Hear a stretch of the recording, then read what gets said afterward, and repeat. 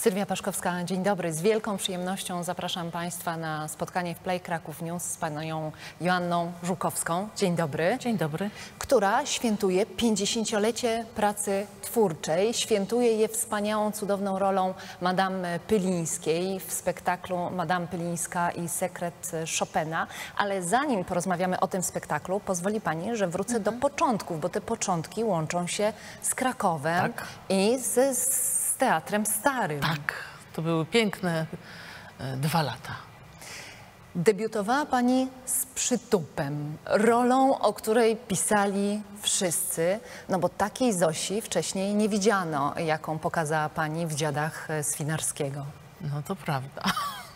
Mm, To była zawsze bardzo taka liryczna i no, taka liryczna osoba. Przed nią baranek, tak, nad nią motylek.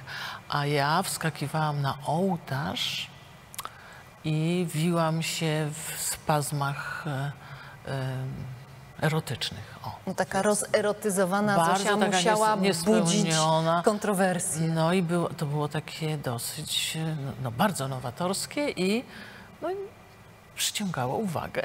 I było też obrazoburcze. Mi się wydaje, że tak za bardzo nie było, ale, no, ale trochę było. Jak znalazłam e, w jednym z dawnych numerów ekranu mm, opinię o pani, posiada typ urody predestynujący ją do ról zbuntowanych nastolatek i fatalnie wychowanych panienek. I tak się zastanawiam, na czym polega uroda zbuntowanych panienek No niegrzecznych. ja, to ja też nie wiem, trudno powiedzieć. No po prostu byłam, e, wydaje mi się, że ja byłam taka od samego początku e, dosyć taka bezkompromisowa, pyskata. Charakterna. No i taka, tak, tak. I taka byłam chyba też i, i, i- w życiu. Tak mi się wydaje teraz dopiero, kiedy tak przypominam sobie różne swoje reakcje, ale nie miałam świadomości. Wydawało mi się, że jestem mm, wręcz odwrotnie, że jestem bardzo miła, spokojna i I łatwo się z panią współpracuje. No, zapraszali panią do współpracy najwięksi. Wajda, Hibner, e, Swinarski. Ten charakter taki zadziorny nie przekładał się też na konfliktowość na planach, w nie, nie, teatrze? nie, nie za bardzo, nie, nie, ponieważ to byli tak wspaniali reżyserzy, że to nie było żadnego powodu do konfliktów. Ja, ja że tak powiem, byłam szczęśliwa, że mogę z nimi obcować, że w ogóle mogę z nimi rozmawiać, że w ogóle możemy razem, że mnie dopuścili do siebie. Ale też muszę powiedzieć, że teraz sobie przypomniałam, że ja debiutowałam w filmie Szklana Kula w reżyserii Stanisława Różewicza i to był scenariusz napisany na podstawie opowiadania Kornela Filipowicza, czyli wszystko jest związane z Krakowem. I tutaj po czwartym roku, kiedy już skończyłam szkołę, przyjechałam, na, tutaj odbywały się zdjęcia do tego filmu. I teraz sobie przypomniałam, moje pierwsze zdjęcia filmowe odbywały się na plantach. I pamiętam, że upał był niemiłosierny, to było lato. No, także dzisiaj sobie to przypomniałam, kiedy właśnie jechałam tutaj w stronę studia. Ale uciekła pani z Krakowa do Warszawy, bo znowu miała pani zagrać inaczej niż e, nakazuje tradycja w zemście e, Klarę, znowu rozerotyzowaną i znowu mocno niegrzeczną. No tak, tak, tak, tak, tak. To była zupełnie inna Klara. Ja nie miałam takiej świadomości, że one są takie inne, e, te, te postacie, które, e, które gr, gram, ale mm, mi się wydawało, że no, że nie ma w tym niczego szczególnego, a potem się okazywało po premierach spektakli, że to jest takie nowe, no, nowe otwarcie, że nowy sposób patrzenia na te... Ale to nie sądzę, żeby to była moja zasługa, to raczej chyba reżyserów, którzy mnie prowadzili w taką stronę. No, no a podejrzewam, że, że też... e, No, że też musiałam to jakoś wiarygodnie odtwarzać, skoro, Wykonywać skoro to zostało tak zauważone i, i, no i, też w jakiś sposób e, no, komplementowane, no, powiedzmy. Tak, bo tak 50-lecie pracy twórczej świętuje pani piękną rolą Madame Pylińskiej, która też jest nieznośna. Teraz sobie to ale zachwycająca. No to już, to, to już ja nie mogę tego ocenić, ale jest bardzo nieznośna. A dlaczego jest nieznośna? To jest nieznośna, bo mm, stosuje metody mm, nauki takie, których się zazwyczaj nie stosuje, kiedy się jest nauczycielką fortepianu. No i budzi e, zdziwienie, e, jak również, e, no ja wiem, no jest dosyć ekscentryczna. Budzi opór swojego ucznia, No ale opór, on ale się też jej zacie- poddaje. No, tak, no bo, bo to są, bo- no bo on, y, bo to też zaciekawia. No ale na pewno nie jest to osoba grzeczna.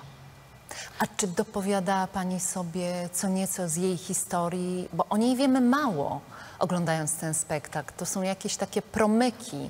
No autor napisał, to, to, to jest wiadomo, że to jest Polka. Eryk Emanuel Schmidt ją stworzył, powstała w jego głowie. E, Jest Polką, emigrantką i jest, ma sławę e, takiej e, nauczycielki niezwykłej. I to przyciąga tego właśnie ucznia, czyli taki alter ego właściwie chyba autora, bo autor też e, grał na fortepianie i w pewnym momencie e, zostawił to i zaczął pisać. I nie wiemy do tej pory, czy ona jest osobą prawdziwą, czy nie. E, Ja czy- chciałam wierzyć, że tak. No więc mam, Zachwyciło bo mnie, ja że chcę, taka tajemnicza postać no, no właśnie, ja, ja, też, ja, ja też raczej byłam skłonna wierzyć, że, że tak. Że, że ona naprawdę, naprawdę była, a nie tylko powstała w głowie autora. A autor z kolei mm, powiedział mi, że on kiedy ją pisał, to tak za bardzo nie wiedział dokładnie, jak ona wygląda, ale jak zobaczył, bo widział ją w moim wykonaniu, to powiedział, że już teraz wie, e, jak ona wygląda. A widziała Pani spektakl Bagateli z Urszulą Nie, Grabowską? jestem bardzo ciekawa. To jest zupełnie inna Pylińska No ja- ja i chyba- też zachwycająca. No więc właśnie, no muszę przyjechać, zobaczyć, bo mnie to tak, jak się dowiedziałam o tym, to strasznie mnie to zainteresowało. Niestety, no niestety e, teraz będzie on grany, ale 4 sierpnia, a dzisiaj jest 2 sierpnia, ja niestety muszę wracać do Warszawy, ale myślę, że skorzystam z okazji i na pewno zobaczę. Muszę Panią zapytać o trend e, w światowym kinie, jaki teraz jest coraz wyraźniejszy, bo w kinach teraz mamy Powodzenia Leo Grande, film ze znakomitą Emmą Thompson i tych ról dla dojrzałych aktorek, nawet mocno dojrzałych, Mhm. jest coraz więcej. Tak jakby kino, często za sprawą kobiet twórczyń, reżyserek, Tak mi się wydaje. odkryło dojrzałą kobiecość i to, jak ona może być fantastyczna. Nie zazdrości Pani tym e, koleżankom e, z oceanu czy z Wielkiej Brytanii, że mają tyle takich cudownych ról, bo jednak w polskim kinie jest Ale jest niewiele. też trochę. Jest. Jest, jest, jest trochę. Ale wydaje mi się, że to dlatego, że kobiety teraz e, zaczynają mieć głos, stają się modne. Taka era kobiet chyba nastała. I to bez względu na wiek. A może na przykład znudziło się nam, widzom, oglądać te, tylko te, te piękne, śliczne buzie, które zawsze są piękne i miło jest je oglądać, ale może też... Szukamy czegoś więcej. Czegoś więcej, czegoś, tych zmarszczek właśnie na twarzy szukamy, tych oczu, które nie są już tylko jasne i, i takie pełne radości życia, tylko mają za sobą jakąś przeszłość, coś się tam zdarzyło. Tej mądrości, tajemnicy. Tak, tak, tak. Także wydaje mi się, że, że to jest taki dobry moment. Rzeczywiście, czy zazdroszczę? Ja nikogo, ni- niko, niczego nikomu nie zazdroszczę. Ja się cieszę, że e, zawsze, kiedy widzę wspaniałą rolę jakąś, obojętnie czy to jest e, teatr, czy to jest ekran, to się tak cieszę, bo mi się wydaje, że to znaczy, to znaczy dla mnie to znaczy tyle, że czasami może się udać. Bo przecież nie skoro zawsze się udaje. innej, to, to tak, to się, na mnie że też to się za udaje, rogiem czeka że się udaje, dlatego że naprawdę e, niewiele ról zostaje, niewiele ról się udaje tak naprawdę. No, mm,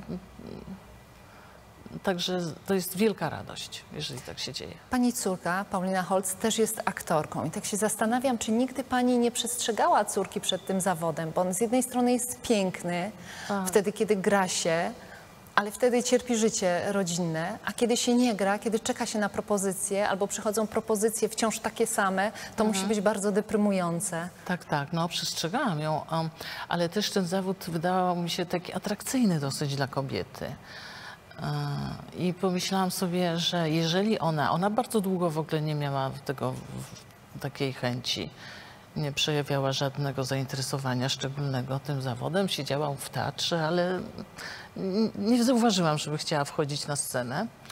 No i w pewnym momencie przez przypadek okazało się, że ją wybrano do, do, no do tego, żeby zaczęła być aktorką, czyli e, wygrała casting do klanu, bo też, o, właśnie, bo też szukali bardzo takiej niegrzecznej dziewczynki. Okazało się, że ona właśnie prawdopodobnie odziedziczyła tę cechę po mnie.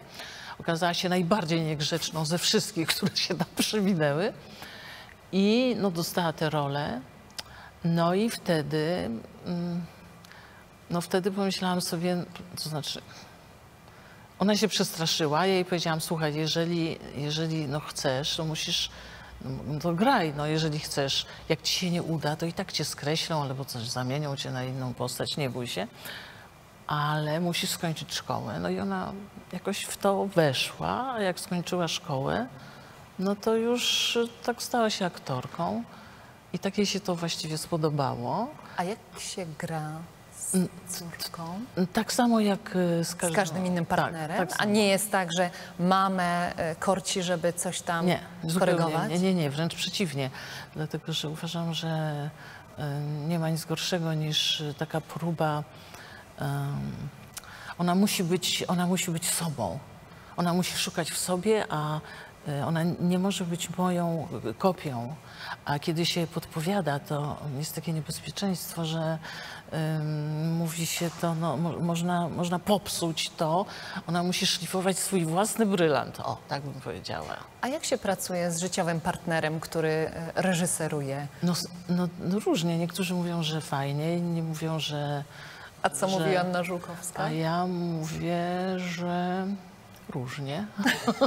raz tak, raz tak. Czyli pan Ale Robert Gliński nie ma z panią łatwej e, roboty. Nie, nie ma, ale ym, dlatego, że y, on jest dosyć taki apodyktyczny, ale ja bardzo cenię jego uwagi. Także nawet jeżeli się buntuje, to potem rozumiem, że zazwyczaj ma rację. Ale się buntuje. Kiedy us... To był jego pomysł, czy pani pomysł, żeby uczcić Pylińską? To był mój pomysł. To był mój pomysł i, i że tak powiem, wciągnęłam w tę aferę Roberta i, i Paulinę. I, i właściwie ja to traktuję tak, że zrobili mi oni prezent, bo Paulina też gra w tym spektaklu i taki dostałam prezent od nich. Tak, tak, to, tak to traktuję i to jest bardzo miły prezent. Czy w tym zawodzie można się nasycić? Czy to jest tak, że zawsze czeka się na to, co, co przyjdzie za chwilę? Był ten okres pandemii, gdzie no, wszyscy musieliśmy troszeczkę odejść, prawda, schować się w domach.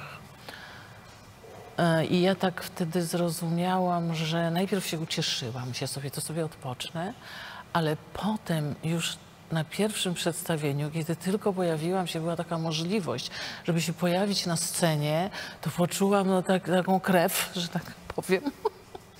No i, i, i, i no, To jest jak narkotyk. no tak, no niestety, wchodzi się na scenę i budzi się we mnie jakieś, jakieś coś, że czuję się znakomicie i tak nie chcę z niej zejść i chciałabym być, być i być. Myślę, wydaje mi się, że dopóki, e, że, no, że dopóki masz zdrowie, no to nie jest łatwo zrezygnować z tego zawodu. Tak mi się wydaje.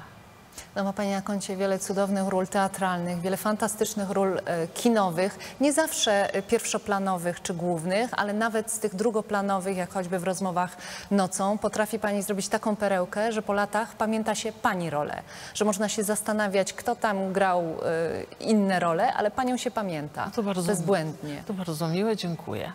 No i wiem też, że wielu widzów klanu ogląda ten serial i czeka na kolejne sezony i drży, kiedy pada informacja, że to już ostatni e, sezon. No ciągle. Również ze względu na pani Surmaczową. Jak e, robi się taką perełkę z roli w tasiemcu, w telenoweli? No nie wiem. No jakoś się robi. Nie wiem, nie umiem, nie umiem Pani odpowiedzieć na to pytanie, ale e, muszę przyznać, że, że teraz klan z, zaczął swoje nowe życie od początku, jest pokazywany i t- m, w czasie pandemii, znaczy chyba nie, nie, już po pandemii, e, zaczy, wciągnęłam się, zaczęłam oglądać z ciekawości, no żeby tak przypomnieć sobie, jak to było. Na początku. I, i, tak, na początku. I muszę pani powiedzieć, że się wciągnęłam. No to ja też muszę spróbować, bo przeoczyłam ten początek, ale teraz skoro jest szansa, to, to nadrobię. Tak, i jeszcze na przykład te takie stare rzeczy są czasami bardzo fajnie się je ogląda. Jeszcze 07 zgłoś się. Taki serial, który oglądam, zawsze jest pokazywany A latem. nie grała? Grałam, grałam, grałam rolę bardzo pamiętną, no aż, no aż po prostu trochę się wstydzę o tym mówić. Grałam osobę podłą i pełno, no tak, jak zwykle, taką mm, Niegrzeczną. bardzo niegrzeczną. E, I, ale chodzi mi głównie o to, że te stare seriale e, mają teraz tak e, no, wiele uroku. Wraca, jakby tak cofamy się i możemy popatrzeć na nasze ulice, na modę z tamtych lat i ten, na ten nasz PRL. Y, To, to jest takie, no, no dla mnie to jest bardzo takie miłe, bo to jest powrót do lat wczesnej młodości. I te seriale były naprawdę fajne.